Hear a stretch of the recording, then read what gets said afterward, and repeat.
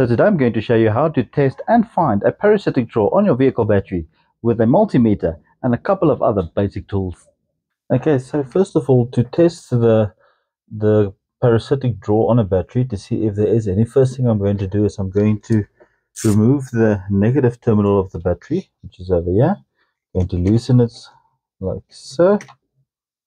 And then disconnect the battery terminal, put it to one side from the terminal like that, put it the side. And the next thing, what I'm going to do is I'm going to attach my multimeter to those terminals. So where am I going to have to attach it? Now, on the multimeter, there is a 10 amp measurement option, which is what we're going to use. Now on my specific multimeter, the 10 amp um, option has got a different portal for the one lead which has got to be moved over there as indicated on the multimeter itself. And once that is done, I'm going to move it to the 10 amp option on indicated on the multimeter over there itself. Let's just zoom in a bit. If you can see that, it says 10 amp. We're going to put it over there.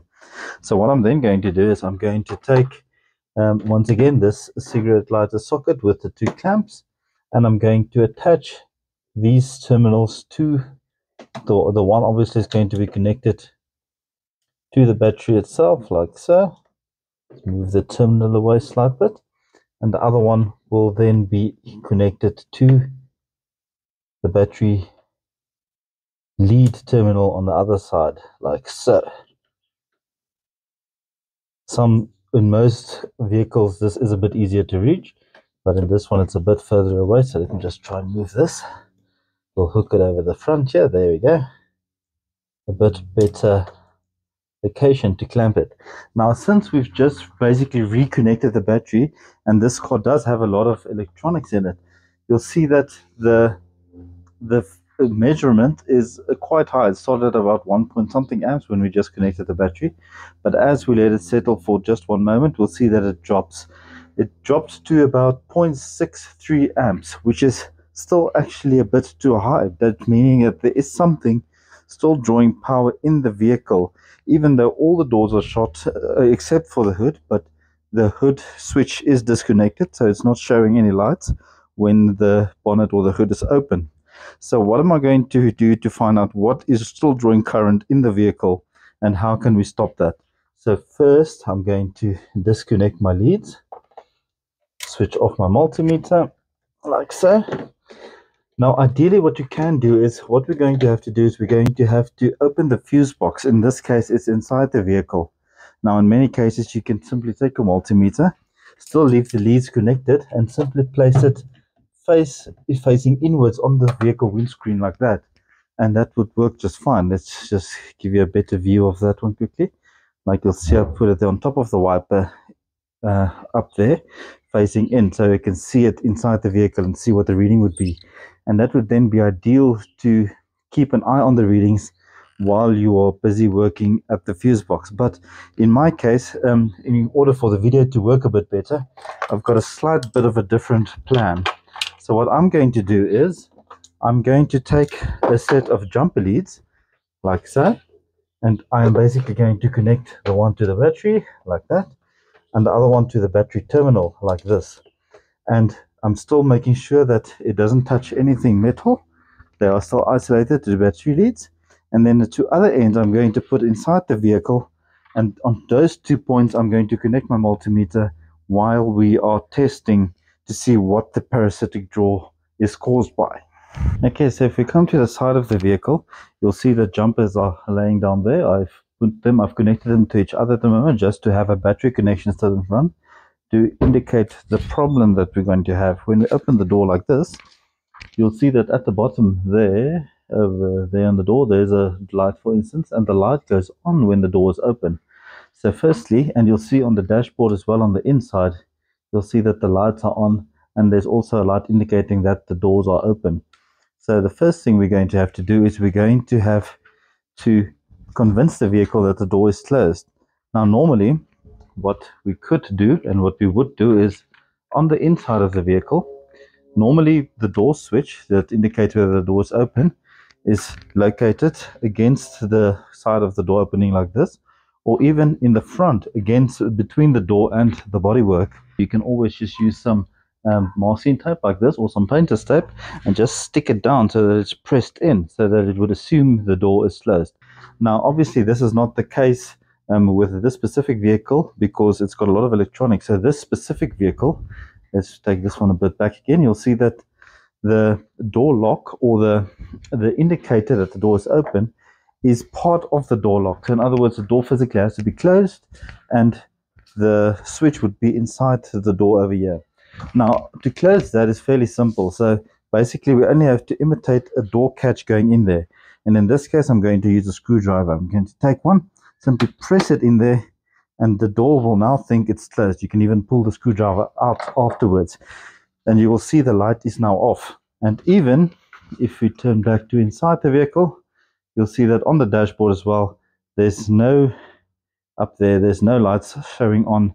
In other words, it's not showing that there's any lights left or any current being drawn currently. No doors are open according to the car. Now, just remember that afterwards, in order to to put to put this back into its current state, you just need to lift the door handle and open it so that it will be open to the door will physically be able to close again. Leads are merely on the floor over here. I've still got them down there at the bottom, like so. So what I'm going to do now is I'm going to disconnect them from each other, put them on the floor mat like that. In other words, they are not connected to anything and uh, they are happily going to be used as connection points for my multimeter still on the 10 amp feature with the leads plugged into the right place. So let's do that quickly.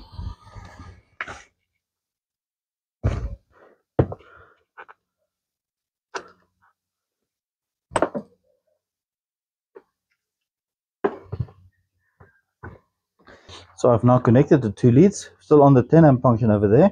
And you'll see it's once again goes down to about 6.4, 6.5 amps. Okay, so I've put the multimeter up here.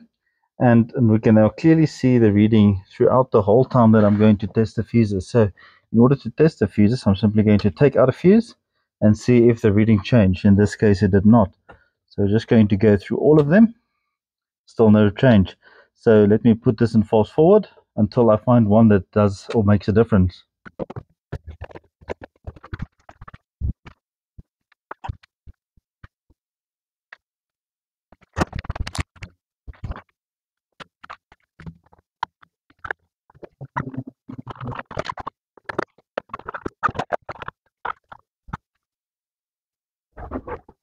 Okay, so after a few fuses that I've taken out, I did come around finding that some of the fuses that I've plugged out and back in, once I've plugged them back in, the amperage goes very low. Like you can see over there um, on the multimeter, it's down to 0.03 amps, 0.04 amps when it's in stationary mode, meaning that it draws almost nothing. So what I did find is that some of those uh, fuses were like, I don't know if I'm going to be able to focus, but let's try. The Central Comfort Electronics, there's one and then there's another one down here which gives the same uh, explanation central comfort electronics so what i am assuming is that the car when switched off um, and when those components are disconnected um, they go into hibernation mode after about a minute or two so they go into hibernation mode and then they basically switch off so the battery would last quite long. It's only when you unlock it and open the bonnet and so on that everybody comes off, all the components and systems come out of hibernation. Um, and it does uh, consume more power. But after about two or three minutes after the vehicle is locked and closed, it does go down. And as you can see over there, um, it uses a lot less current um, at all. So the main consuming of parasitic draws, what I found out was, which is not in my case, but would be the radio fuse because especially if it's aftermarket radios and any excessive systems that you might have installed in your vehicle, they tend to be able to draw quite a lot of parasitic draws. So you might need to look at your wiring for your reserve power or your um, permanent power on those systems when the vehicle is shut off. Another one that can cause problems are often door switches, and um, whether it be the hood or the bonnet of the vehicle, whether it be the doors over here, or even the boot or the trunk of your vehicle. They can all have switches which are faulty and they do not switch off the lights. And those can draw a lot of power. um, when the vehicle is switched off because those lights keep on burning, as well as the dome lights, which is usually on the roof of the vehicle or underneath in the footwells and so on. They can be all those places and they can draw a lot of power. So those are the most common places where you would find them. In my case, um, I found that there's nothing that draws excessive power and my battery hasn't been running down. Obviously, when you do this test, you do have to make sure that your battery is in good state. Um, I will link, put a link in the comment below to a video where I show you how to check the state of your battery. And you also have to check, which I do check and mention in that same video, that your alternator is in good state as well and is properly charging your battery. So if you found this vehicle helpful, be sure to like it and subscribe to my channel. So until next time, thank you very much guys.